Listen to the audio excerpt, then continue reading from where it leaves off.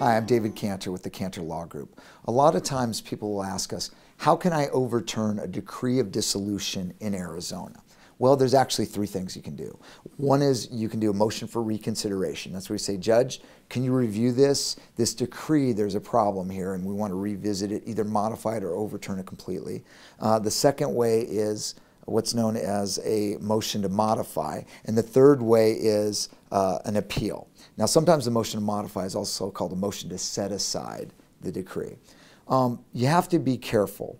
Now, on an appeal, you only have 20 days from when the judgment goes in. So what will happen is a lot of lawyers out there will go, let's try a motion for reconsideration.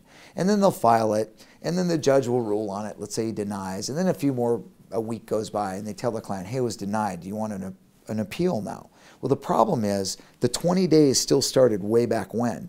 And if you have a lawyer who doesn't know what they're doing, they're either going to call you after 20 days has gone by or they'll call you like a day before the 20th day without realizing it. So if you're thinking about overturning a decree, contact a lawyer who knows what they're doing. So give us a call and we'll help you out.